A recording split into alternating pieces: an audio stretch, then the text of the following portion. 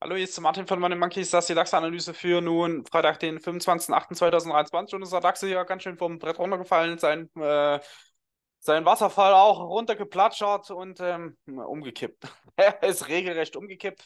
Wir sind hier noch oben ans Band dran, haben die 49, 59 nicht mehr ganz geschafft. Ähm, natürlich, das, immer, das ärgert mich dann manchmal auch ein bisschen für die, für die Leute, die nur die Morgenanalyse gucken.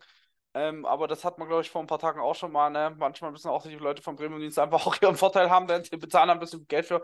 Wir hatten uns dort noch die 885 angeguckt. Ähm, und dann war an der 885 und dann haben wir gesagt, na gut, jetzt von hier Rücklauf 8, 8 auf 830 und dann kannst du bei 830 schon richtig äh, Herz auf Niere äh, prüfen. Entweder macht er 830 dann wieder hoch und äh, galoppiert volle Hütte oben raus Richtung 16.000 oder er zerbricht die 830, geht runter 57 und im Extrem 620, 600 und 550 und buff, volle Hütte nach unten einmal durchgezogen. Ähm, für diejenigen, die in der Mockenanalyse ähm, oder quasi mit der Vorbereitung der Mockenanalyse reingegangen sind, wird es wahrscheinlich eher schwieriger gewesen sein zum Umsetzen, kann ich mir vorstellen, denn wir hatten oben ähm, einen Stundenschluss oben raus. Wir hatten gleich am Anfang vor allen Dingen von der 820 eine rote Stundenkerze, dann eine sehr drüber, hat eine grüne oben geschlossen, dann direkt wieder eine rote dahinter gehauen. Ähm, unten hat es ähnlich gemacht, er hat auf 776 erstmal eine grüne nach oben angezogen das war dann ein bisschen schwieriger nachzuvollziehen. Da konnte man unter der Haube ein bisschen besser rauslesen. Da hat man dann auch hier unten geschrieben, also bei 776 dann war, dass die 47 dann erstmal Shortmarke wird und dann ist das 47 angelaufen und komplett wieder nach unten umgekippt. Ähm, aber das kann man leider nicht ändern. Ne? Das ähm, gibt auch keine Möglichkeit, wie ich ähm, sowas dann besser in die Morgenanalyse einbinden kann. Ich mache das auch nicht mit Absicht. Also denkt nicht, dass ich da irgendwie versuche, die einen hier be zu bevorteiligen oder nicht. Das mache ich eigentlich nie. Das war so für mich, das war halt wirklich erst aus der untergeordneten Bewegung dann erkennbar gewesen. Ähm, ich würde die Analyse, auch wenn es eine Woche später ist, immer wieder genauso machen. Ne? Das Einzige, was man hier vielleicht mitnehmen konnte, ist das mit Unterbieten der 670, 6, äh, 700, dann eben das Übertreibungspotenzial frei wird. Wir haben gestern gesagt 655, 460, 400. Und ähm, das ist ja passiert. Der ist ja dann, auch wenn er die erste grüne Stundenkerze da unten gesetzt hat, ist er dann nachher umgekippt, drunter gelegt und hat das aufgefressen. Und das erste Ziel ist jetzt hier erreicht bei 55 schon mal. Ja, ist auch gar nicht so unwichtig. Ich könnte mir sogar fast vorstellen, dass er Freitag erstmal nach oben anstartet, ähm, aus, aus Trotzreaktion. Aber Ziel wird jetzt hier 200 Taktlinie. Also auch mit so einem Flanken drin hätte das auch relativ leicht, da hinzukommen. Ja. Bin sehr gespannt, ob er es denn dann auch macht, weil, also, wüsste nicht, wie man noch eine bessere Vorlage kriegen kann. Das ist schon relativ straff. Also die 400 ist jetzt hier interessant, 410 ist es sogar mittlerweile schon. Ähm, das ist damit dann auch die, die, die Eröffnung von dem Tag nach dem Gap. Bei 360 ist das noch das Gap. Ich denke, das ist fast Augenmerkzone zum Dienstag hier im Bereich um 400 und 360. Auch die 460 sollte man nicht ganz aus den Augen verlieren. Man sollte vielleicht sogar auch ein bisschen höher planen, denn wenn man die Tiefs verbindet, wird man bestimmt irgendwo bei 480 rauskommen, 485 Manchmal ist der Markt ein bisschen dusselig. ihr, kennt ihn, ihr kennt unseren DAX. Manchmal ist er ein kleines Rindvieh. Dann dreht er sich von so einer Marke nochmal hoch, macht alle komplett Kürre, geht auf 600, 630 oder irgendwie sowas und dreht von dort dann nach runter. Also, ähm, das wäre auf jeden Fall mit einzuplanen. Sollte der gar nicht nach unten rennen, ähm, würde ich auf jeden Fall sagen, aufpassen, weil ich meine, das ist jetzt sehr offensichtlich, dass das hier weiter fallen kann. Das, ähm, das sind wir wieder beim Thema, das sieht ein Blinder mit einem Krückstock, ne? Ähm, dementsprechend traden die Leute aber wahrscheinlich auch vorzugsweise Short. Das ist nicht, man, man, man kann das nicht 100% mit Sicherheit sagen. Manchmal wissen auch alle Leute, dass das fällt und handeln trotzdem long. Das ist manchmal sehr interessant. Das sieht man immer mal wieder. Ne? Die Leute sagen, ja, das fällt bestimmt noch bis dahin und handeln deswegen long habe ich gestern auch im Chat bei uns auf der Website geschrieben. Ne? Da, da hat auch jemand gesagt, der geht davon aus, dass da noch 150 Punkte nach oben gehen. Deswegen geht er jetzt schon short mit der Plus 150 Punkte höher. Das Käse.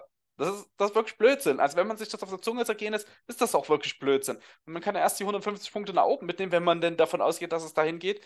Und von dort dann die Strecke zurück. Also da versucht wirklich das zu handeln, was ihr seht und nicht irgendwelchen Käse zu machen. Ja, also ähm, das ist einfach ineffizient. Ja? Wenn ich weiß oder mir sicher bin, der Markt bewegt sich noch in eine bestimmte Richtung und ich sage, okay, dann gehe ich trotzdem jetzt hier rein und packe aber den Stop-Loss dann hinter das Ziel, was ich noch kommen sehe, das ist, das ist vertan, also das vertan, vertanes Geld halt auch. Ne? Also, ähm, ja, Punkt. Was wollte ich aber sagen? Sollte der jetzt zum Freitag nach oben ausstarten und der, zieht, der, der kriegt Druck drauf und er zieht über eine 630 auch oben raus, also ober, für mich wäre so 630 eigentlich so die obere Kante, ähm, dann passt ein bisschen auf. Weil damit rechnen wahrscheinlich die wenigsten jetzt, dass der am Freitag die komplette Bude wieder zurückläuft. Und wenn jetzt alle davon ausgehen, dass das Short, dass der, dass er runterfällt, hauen die in diese steigende Bewegung dann die ganze Zeit rein. Ja, und dann steigt er natürlich noch weiter. Und deswegen passt er wirklich bitte auf. Also ich würde für mich persönlich einfach so 6,30 festlegen als, ich sag mal, Signalmarke.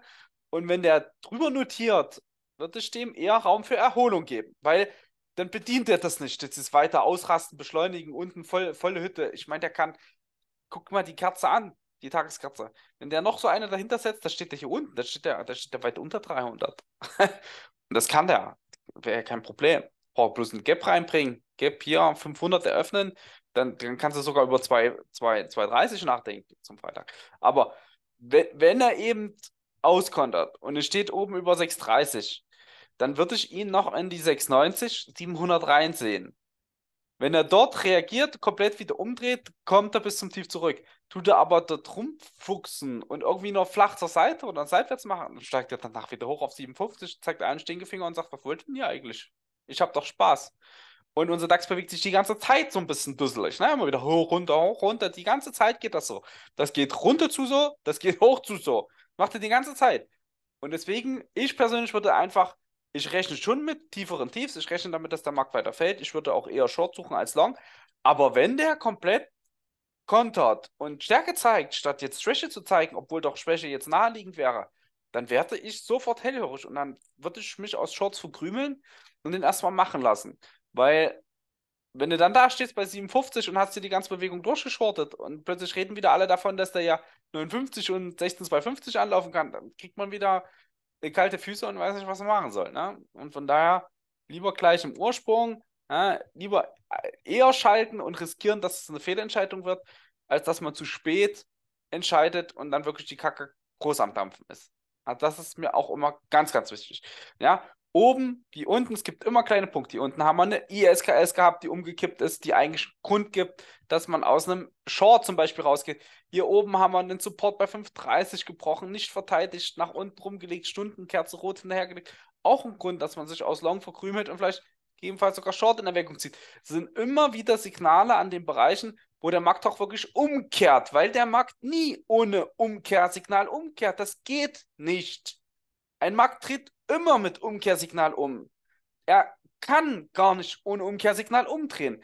Deswegen würde ich auch eine Umkehr erst dann traden, wenn denn ein Umkehrsignal da ist. Weil ohne kann es ja gar nicht gehen. Also brauche ich auch, solange ich kein Umkehrsignal gebe, sehe noch nicht mich dagegen stellen. Verstanden?